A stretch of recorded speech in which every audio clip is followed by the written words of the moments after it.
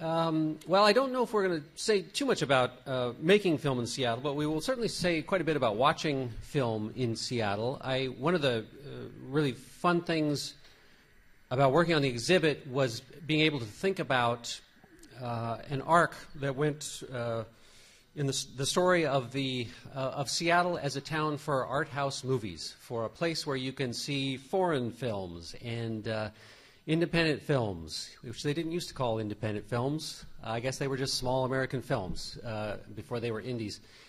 And um, that, I, I, was thinking, you know, watching the progression of that, that did not start in 1980 or something. That has its roots in some interesting things that were going on uh, some decades before that in terms of people who cared about showing these films and felt there was an audience to be developed for them and the theaters that were involved in that. Uh, some theaters that are still around, and some some that aren't. And I thought uh, that Richard Jameson would be an ideal person to uh, talk about this, uh, because Richard has uh, has uh, both a long cinematic memory, definitely, but also a long civic memory, having been in Seattle since the mid 1960s or so, as a programmer, as a teacher, as an editor, as a film critic, uh, Richard was the first film critic of The Weekly, for instance, for uh, almost the first 10 years of its existence and taught film at the UW. And, um, and uh, some things that uh, he'll tell you about, uh, because I think we will start um, at, at a, mo- a moment where it feels like Seattle was learning about maybe becoming an art house kind of town for, for movie watching. And it, was, it coincides with a, around the time that, Richard, that you showed up in Seattle, uh, which you can you can say what year that was, but uh, you you fell. I think you fell fairly quickly into whatever was happening then. But maybe you can you can give us a sense of what was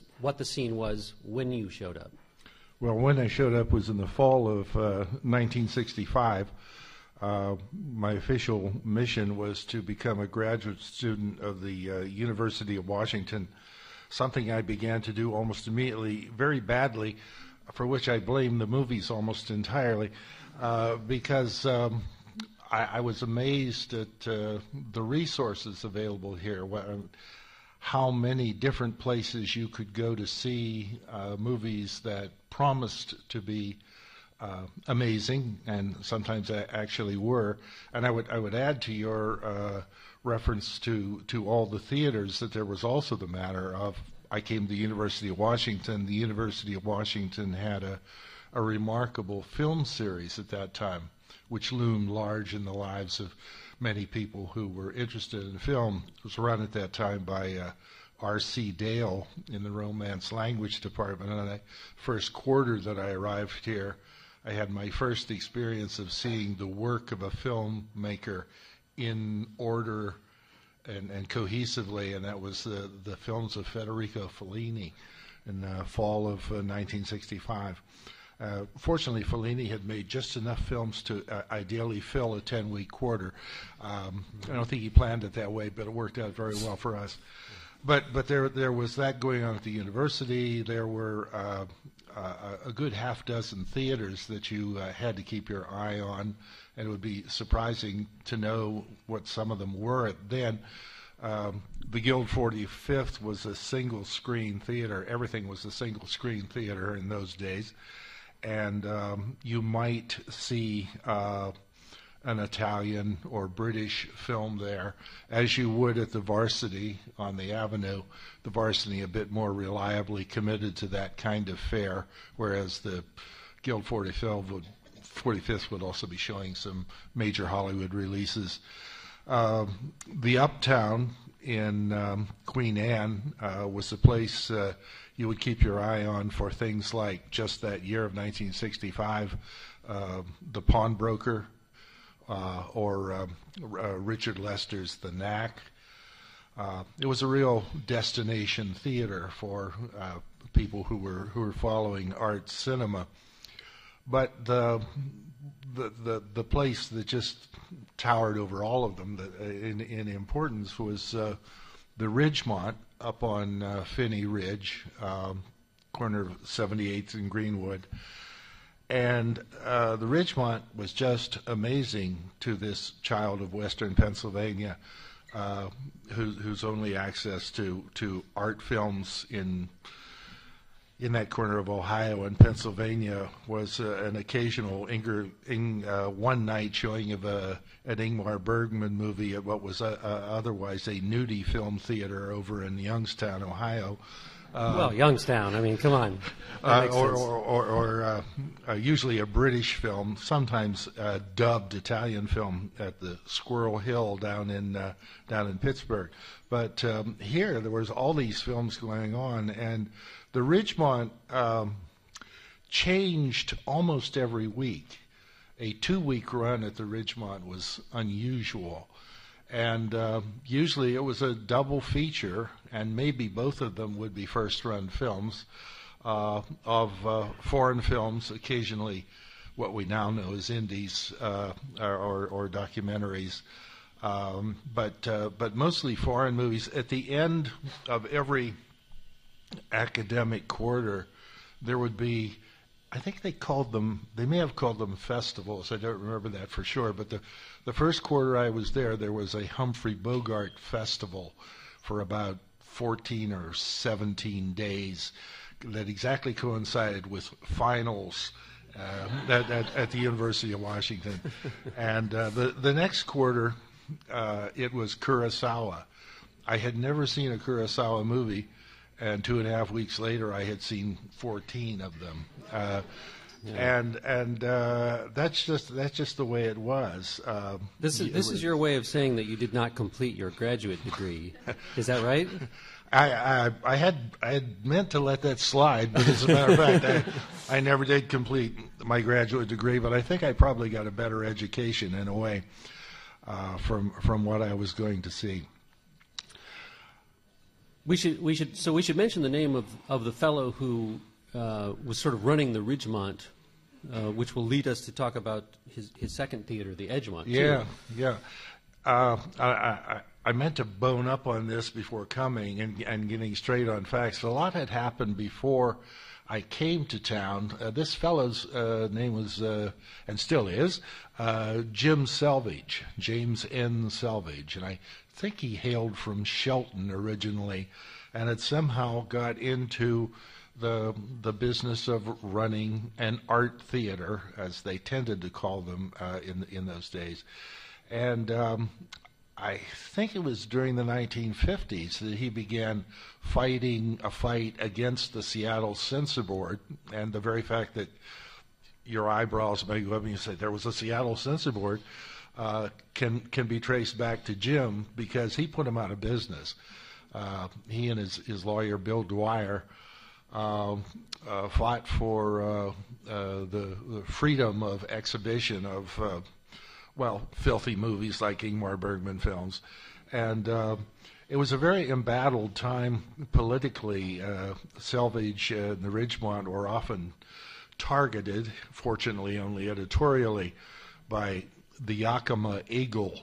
Uh, I remember, and uh, it was it was a um, uh, a cell of the American Civil Liberties Union, and in fact, you had only to walk up to the mark to the box office, lean down, and whisper ACLU, and you could get in for nothing.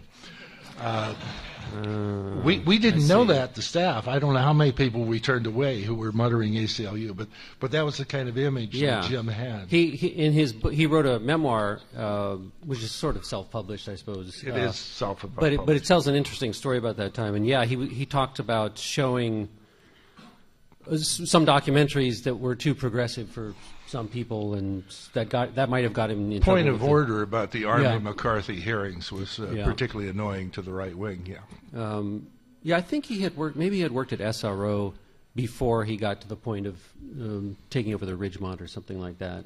If, could, if that's what well I'm remembering from his book, but. Uh, uh, well, but so he uh, he hired you at some point. Well, again, 1965 uh, happened to be the year that he was starting another theater, um, and it kind of rhymed uh, with the with the main theater, and this was the Edgemont which was out in Edmonds. I think it had been the Princess Theater, where, well, it sat there innocently for a few decades, just being a neighborhood movie house. But Jim and a Seattle booker named Bud Saffel uh, decided to uh, take a five year lease on the place.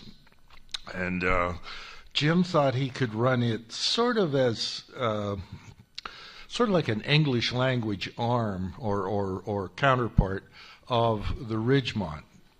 And that if people didn't want to go to movies and have to read the words, uh, they could see dubbed as opposed to subtitled versions of some foreign films, and you often had the chance of book uh, the choice of booking either one of those uh, versions. They could go see the dubbed version out at the Edgemont, and they could also see.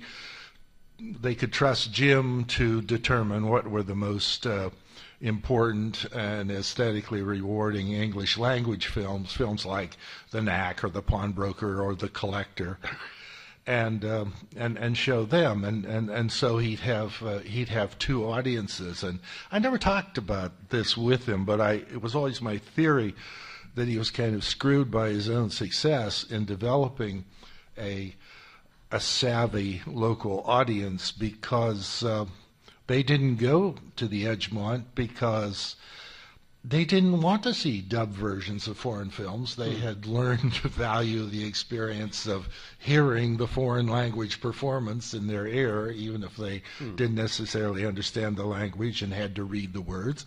Um, and as for catching a second run of something like The Collector, well, they were already paying enough attention that they realized they should go see The Collector, and they had done so at, mm-hmm. at the at the Uptown. So the the Edgemont ended up just just being an empty shell as far as uh, commercial life was concerned, and uh, and here was Jim stuck with a five year lease that was going to play out until uh, 1970, and. Uh, uh, something else happened around this same time, which was that uh, a disaster hit the Ridgemont, and this disaster took the form of success.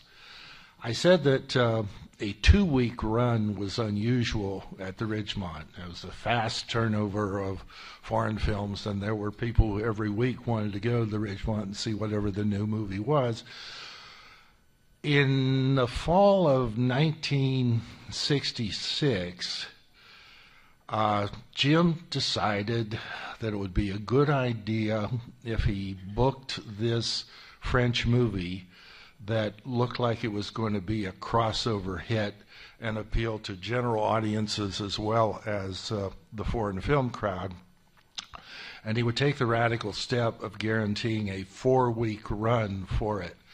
And so, I think it was in November of 1966, the Ridgemont Theater began showing Claude Lelouch's A Man and a Woman. Mm-hmm and they showed it and showed it uh, because there was a holdover deal. If you did X amount of business on the weekend, you were obliged to keep the film another week. And even though after a while the, we were sitting there pretty much with an empty theater during the week. On the weekends, it was a date movie, and people would mm-hmm. enough would turn out, and we would have it again. And there were people who sat there regular customers sat there for months seeing the pre- uh, the previews again and again of Marat Sade. Uh, talk about torture. Uh, and, and when is it when is it going to get here? And um, and finally, the frustration was building, and Jim decided, I know, we'll in effect shift the Ridgemont to the Edgemont. It can't do worse than the Edgemont was then doing as a uh, as a pointless uh, neighborhood theater. And so in the uh, fall of 1967, started off with uh, Luis Buñuel's The Diary of a Chambermaid and a French comedy called, uh, well, the American title was Thank Heaven for Small Favors. I think Buñuel would have appreciated that pairing. Um, the um, uh, we started, started running the Edgemont Theater. And I say we because I, I had been working for a while as a relief manager at the Ridgemont, and uh, he offered me the chance to be the manager full time out at uh, out at the Edgemont. And so it became like the Ridgemont, and a week of Buñuel might be followed by a week of Godard. Mm-hmm. I remember we had the first run double bill of Masculine, Feminine, and Band of Outsiders mm-hmm.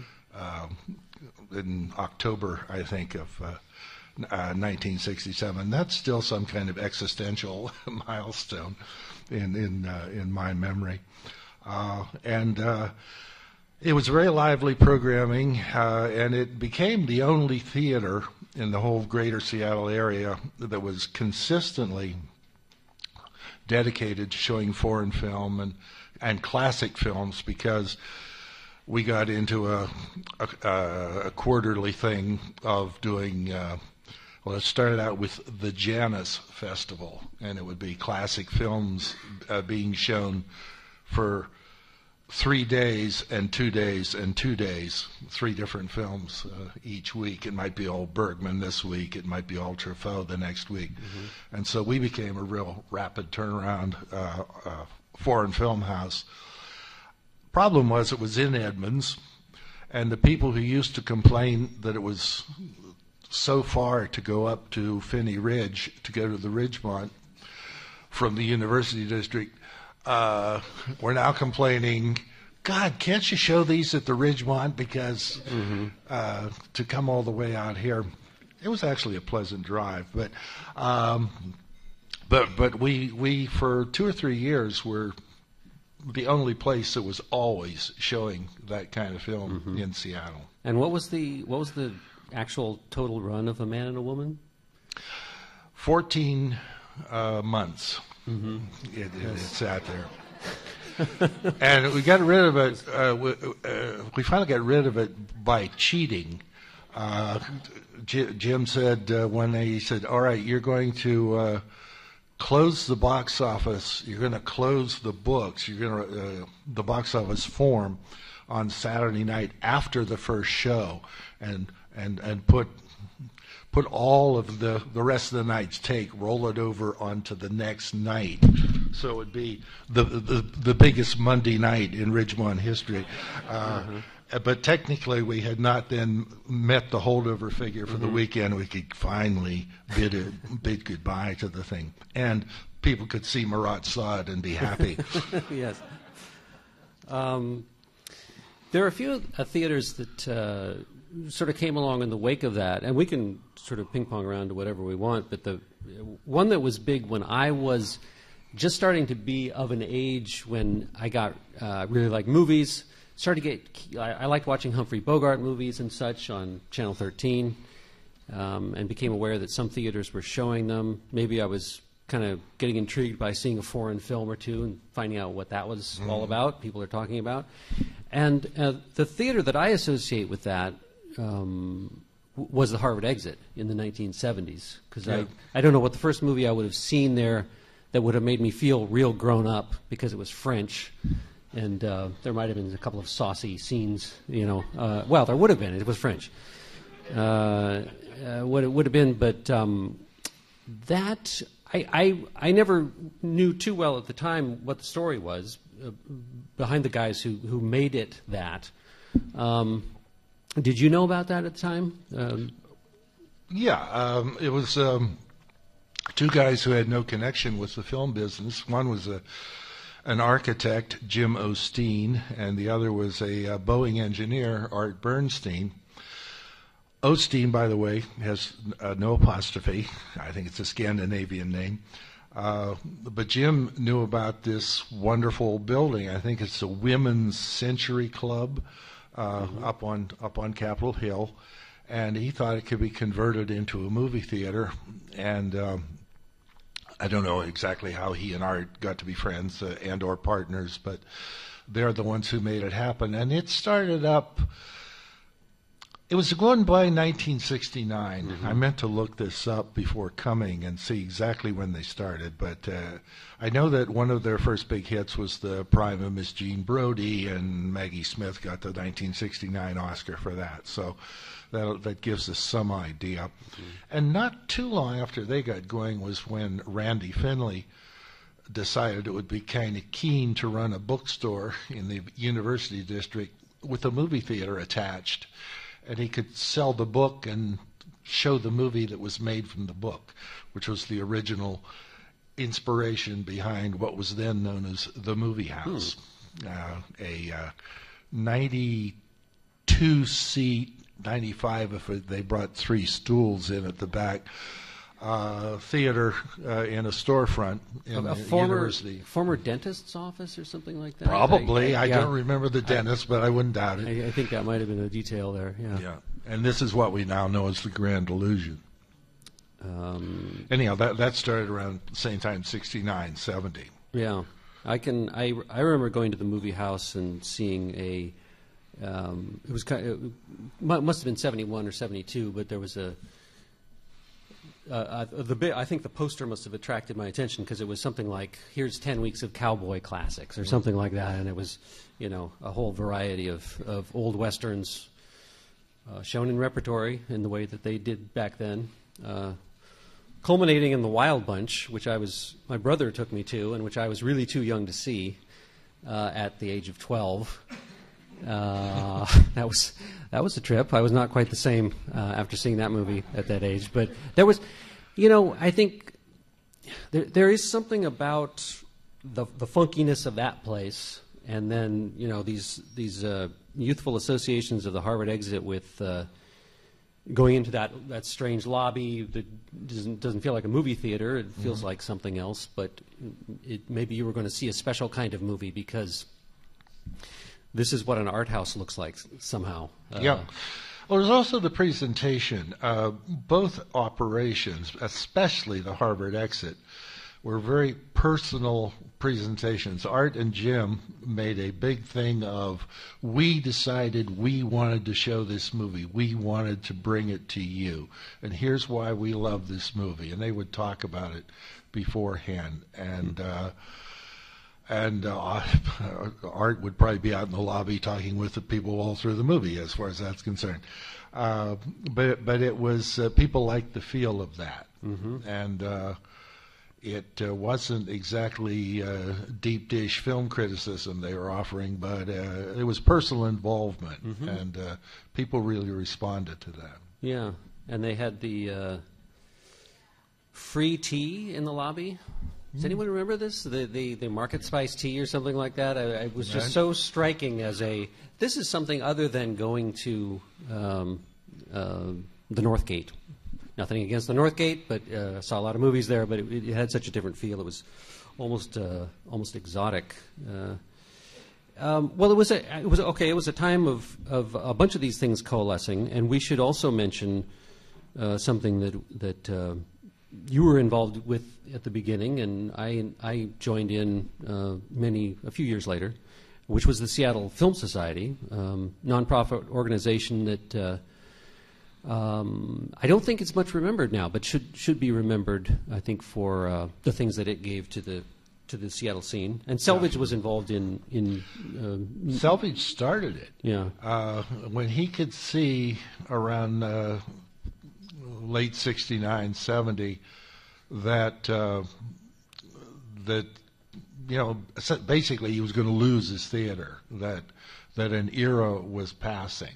That the audience for foreign film, uh, indeed across the country, was was shrinking, and the number of films that were being brought into the country was shrinking considerably, and it was mm. getting down to either something that had a sexy X rating or had the name Bergman or Fellini attached to it. Mm-hmm. Otherwise, probably wasn't going to get picked up for distribution hmm. anymore. Mm-hmm. And the Ridgemont wasn't doing business. I this is sort of the other shoe dropping when I said the disaster hit the Ridgemont. It wasn't just that the Ridgemont was out of useful service uh, for all the months that a man and a woman was playing there, but but but its its rhythm was broken. uh, and and uh, faith with the audience was Yeah. broken. That hadn't been the intention, but that was the effect. And uh, and and as as he moved toward the exit, as it were, Jim took it upon himself to invest some money, uh, just and really that was a matter of throw the money away, uh, setting up this this nonprofit society that could maybe keep alive the spirit that had informed his theater uh, in its uh, in its best years.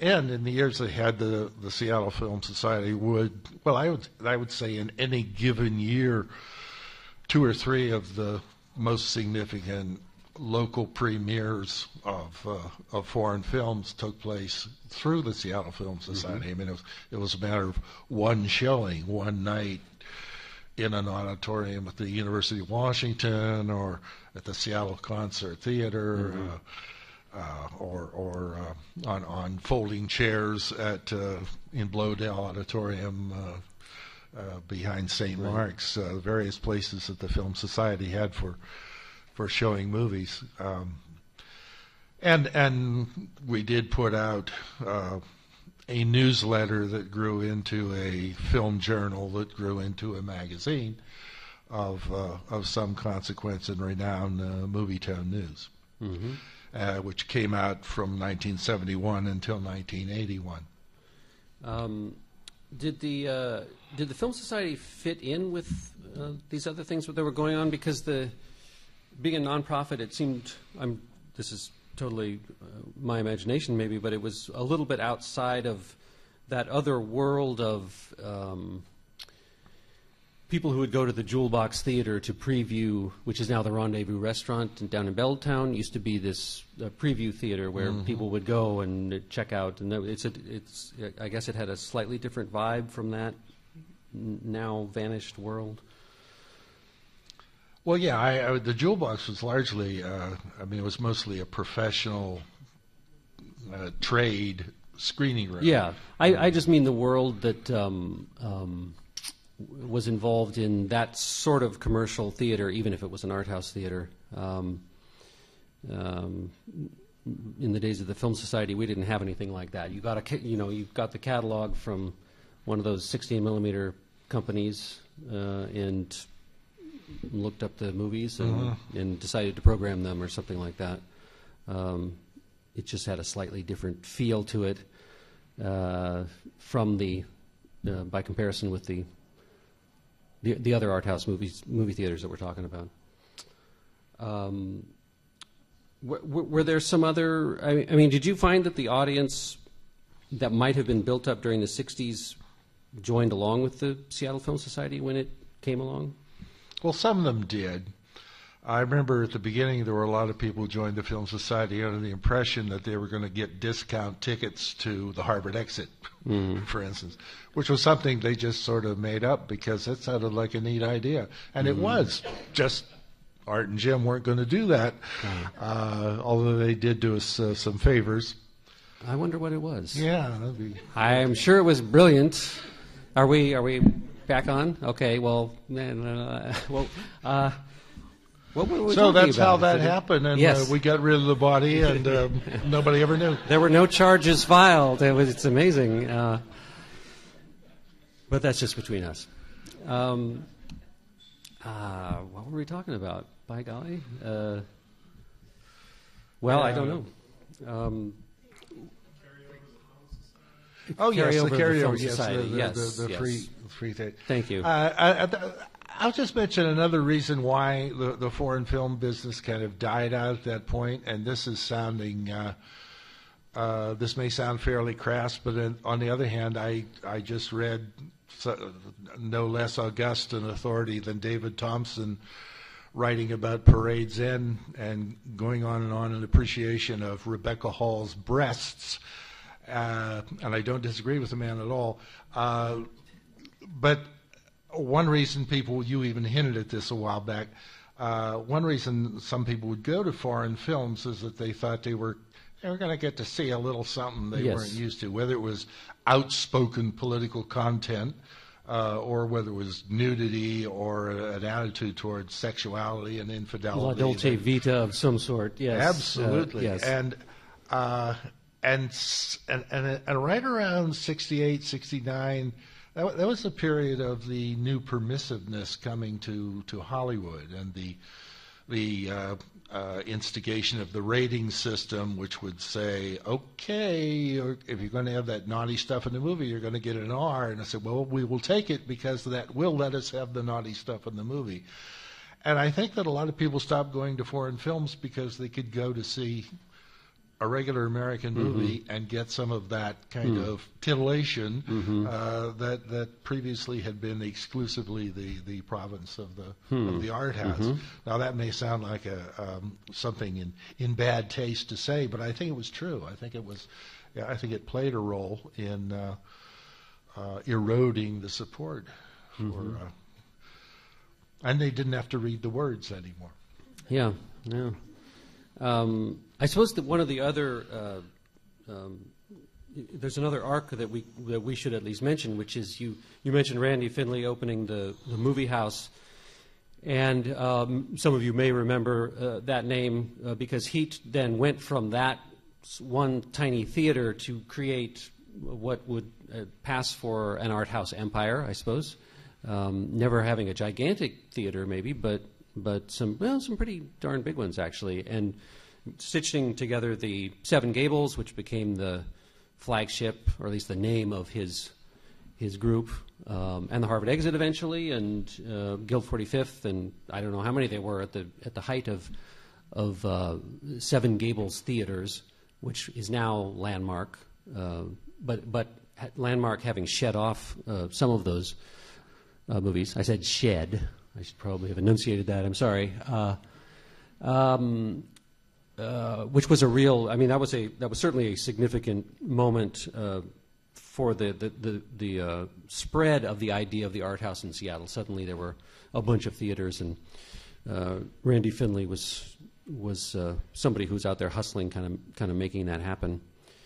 And then at some point he, he just left. I don't. Uh, he's he's still around, but he's he, he's interested in other things, I guess. And, Yeah, he, he he made a lot of money, and uh, I think one of the last things he did was to win a lawsuit against uh, uh, one of the local circuits and uh, some of the distributors, uh, Hollywood distributors, that he maintained that uh, he had made competitive bids to get certain films to show in his theaters, and and he had been denied, even though he was certain that he had given the best bid.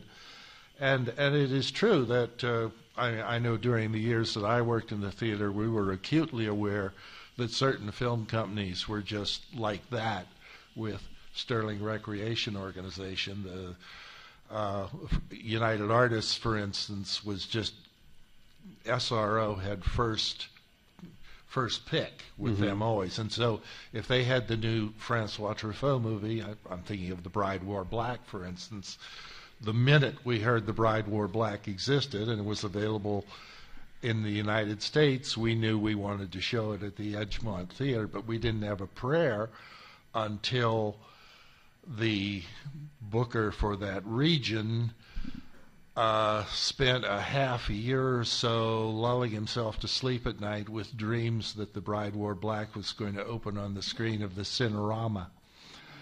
And of course, never happened, never was going to happen. And eventually they'd say, oh, You guys still want Bride Wore Black? Okay, you can play it uh, in July. And by that time, uh, the publicity, uh, people's awareness and excitement over the fact that The Bride Wore Black, a new Truffaut movie, had come into the world, had sort of died a little bit. And so, probably not that many people remember that it would be a worthwhile idea to come out and see it. But uh, that that happened again and again.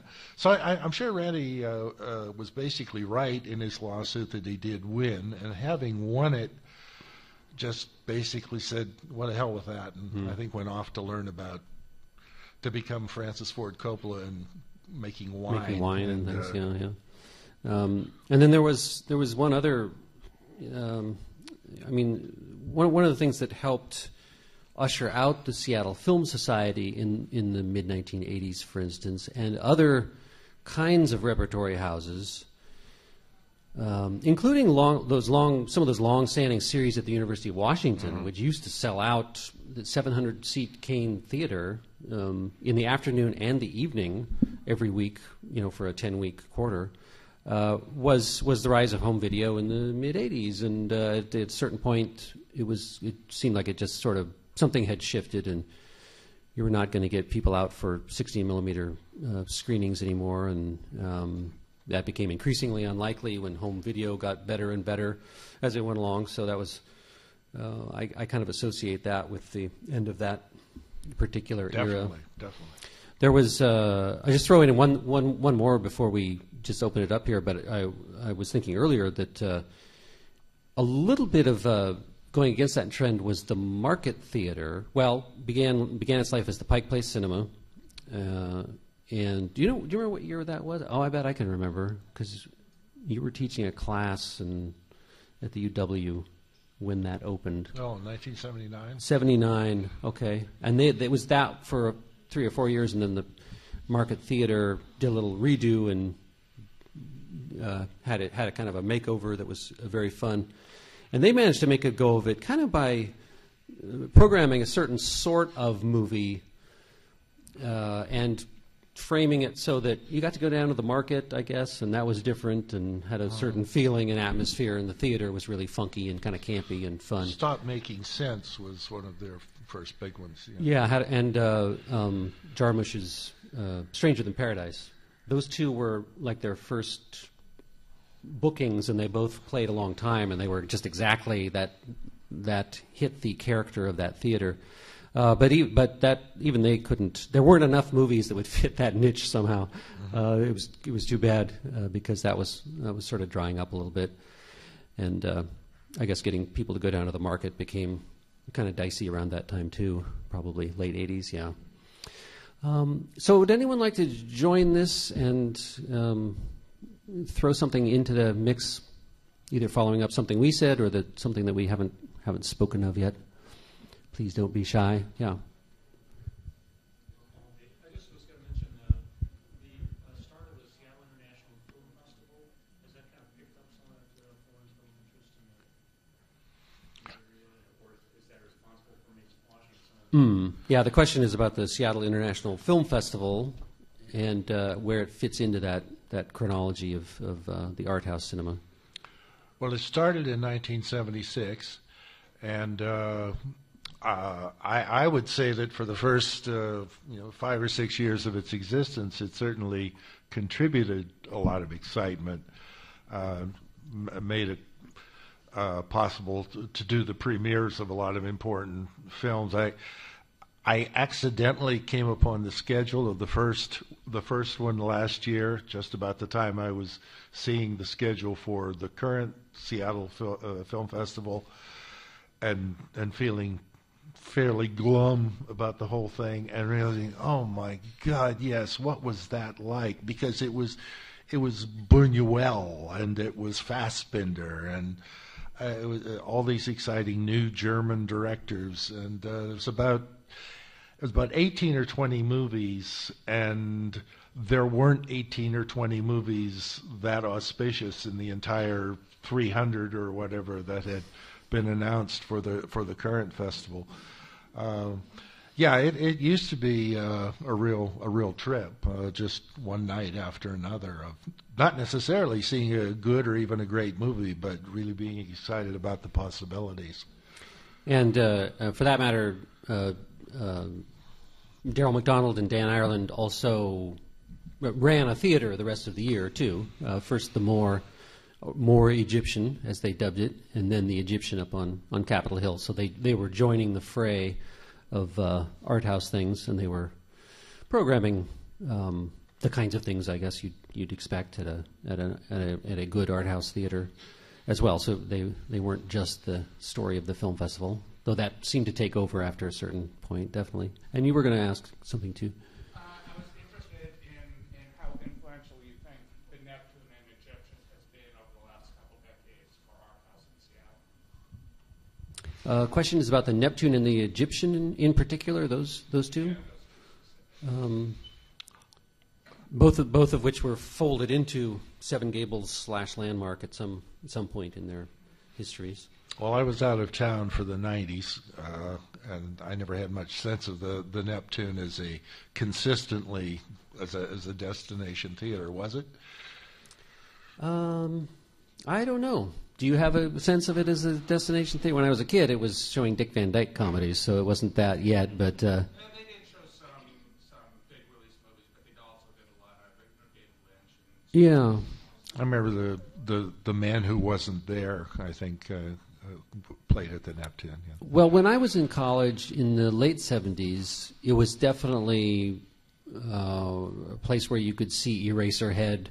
Um, um, uh, they showed a couple of Herzog movies and things like that. So yeah, I think they were they had that going. And then at some point, they also became the repertory house.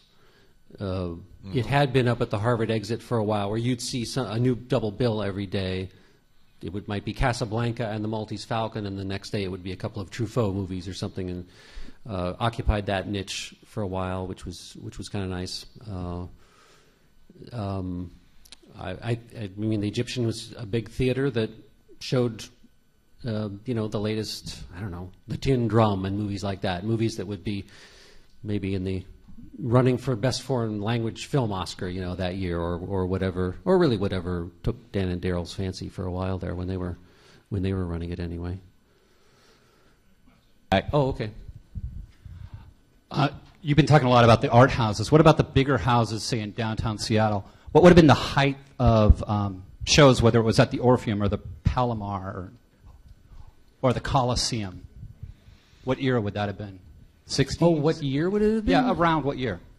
Well, the, they knocked down the Orpheum in '66 or '67 or so, and they, the, some of the other big ones fell shortly after that.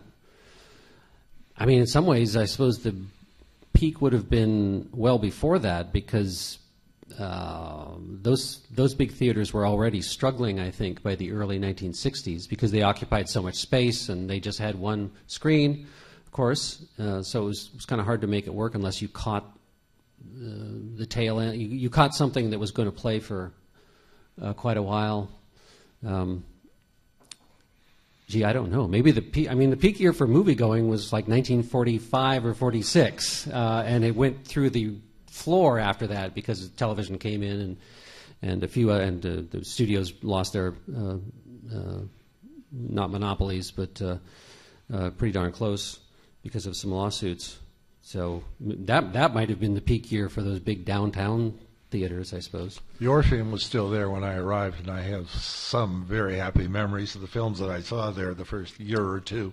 And then, as you say, it wasn't there anymore. It was on the way to becoming the, the corn cob. Uh, Yeah. Um, uh, yeah, and by you know some of these places, by the time I mean like the late '70s or, or '80s, a place like the Coliseum was really run down. I don't know if anybody remembers it, that from that time, and it was kind of a second run house, or if it was first run, it was they were pretty bad movies, and it was you didn't want to look too closely at the floors or the corners. it was not. Uh, it had it had really. try gone- not to disturb that rat who was eating your shoe. no, I'm, I'm sure he was enjoying the movie too. Um, yeah, John. I would say some of the big theaters downtown were still big in the '60s. Like Fifth Avenue played my Fa- or played Sound of Music for two years in the '60s, and Doctor Zhivago and Rosemary's Baby and Mary Poppins all played. All at I think the Music Box and the Blue Mouse, which aren't there anymore. Yeah, the, Um, Yeah. Those are, those are road shows, as they used to call those, are reserved seat attractions and films which have been de- designated events and are treated like sort of like uh, honorary theatrical stage presentations, except they happen to be movies. Uh, but but that that phenomenon in itself came to an end.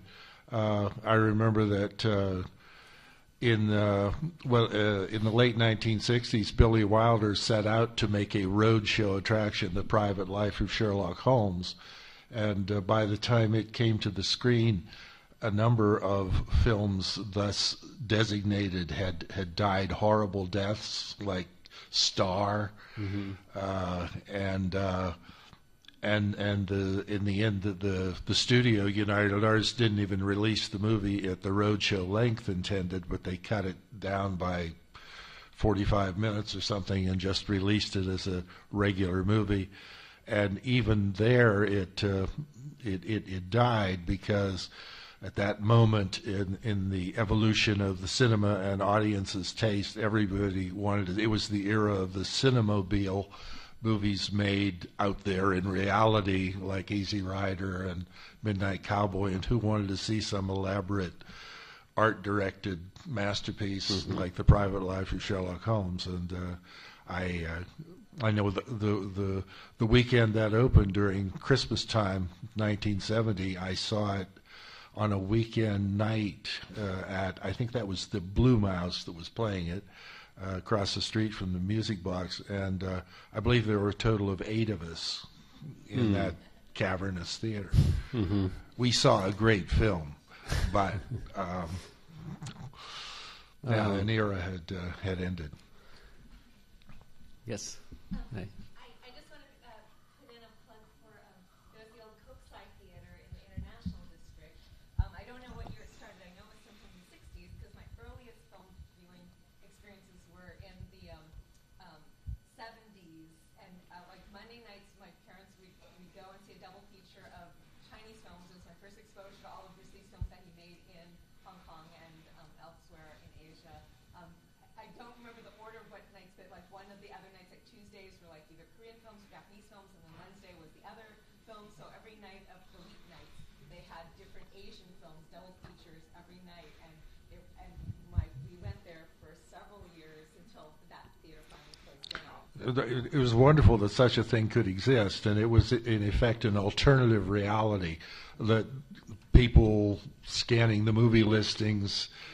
uh, didn't even know it existed. And I know Peter Hoke and I made a pilgrimage down there to see Kurosawa's Redbeard uh, a couple of years before it was available with distribution to art theaters. Mm. But meanwhile, uh, Toho was booking it directly uh, in into the the Kokusai, hmm. and uh, yeah, in, in, fact, when uh, when Ozu kind of broke as a as a, phenomenon uh, in New York uh, in the um, trying to remember the, the year. It was anyhow. It was the year that they released an autumn afternoon and and late autumn and a couple of other movies, and we're writing about them with great excitement in the Village Voice and saying these are the first showings of this movie, these films in this country. I said, well, actually, we had shown them at the Edgemont mm-hmm. uh, three years earlier, but we had booked them directly from um,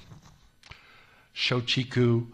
Uh, but but they weren't officially in U.S. distribution mm. as as art films. Therefore, they didn't exist as far as people in the Village Voice. Not to the Village Voice, yeah. No. Uh, yeah, we, we have a little something on, on that theater up in Celluloid, Seattle. They they uh, some someone had kept a couple of posters from that that are really charming, and uh, there's a, there's a vintage quote from a, a newspaper account of the how special it was to go to that theater and kind of go into this unusual uh, sort of enclave. But yeah, that's a really uh, that's a, an interesting part of movie going is um, uh, the s- small theaters that could survive, you know, over the over the course of uh, years or sometimes decades like that. And yes. Um, so central. Oh, thank you. Um, Central District's now home to Central Cinema, but I'm curious if there are any other theaters that occupy the central district area or Madrona or Madison Valley before its opening? And if so, what kind of films they showed? I'm afraid I don't know that territory at all. Um, there, there are a few that, that turned up uh, when we were doing research for uh, Celluloid Seattle, but they're hard. It's hard to find a record of them actually, and um, I think partly that's because they've been gone for a long time, and I suspect partly because uh, if if what it's you know it sounds like there were maybe a couple of uh, theaters that catered uh, mostly to African American audiences, and I suspect that the, the newspapers were not uh, talking about them because I looked. I looked in the, the Seattle Times going way way back uh, for I would even search on the the, uh, the names of the theaters uh, uh, and they have a really good search engine set up. But it was very rare to find a, a reference to that. So we did not find too much on that uh, particular uh, piece of community history. I'm afraid. Last question. Okay. here in the back. Oh, and really, I was going to ask two questions. Well, we got time. The first one is I'm a suburban boy from around here, so I can remember going to the Lewis and Clark Theater with 2,500 seats in it as you know a big theater kind Yeah. of event. Could you talk a little bit about sort of the suburban rise in the Seattle area? And the other question is I started with SIFF in its first year, and I can't think of a single phenomenon in our city, whether it's a, a theater or an, an organization running a theater, that's made so much impact. And so I guess I'd like to hear a little more about that. Lewis and Clark was part of uh, a circuit of uh, three big uh, theaters. The Northgate and John Danz were the other two. John Danz over in uh, Bellevue, and I think speaking of flagships, I think that was the flagship theater of the Sterling organization. Uh, and yeah, they they were big, big houses, and they were usually showing the same first run attraction, different, very different points around the compass in uh, uh, in in Seattle, and uh, they were they were definitely very very active. I I spent a lot of happy nights. Uh, in my case, at at the Northgate.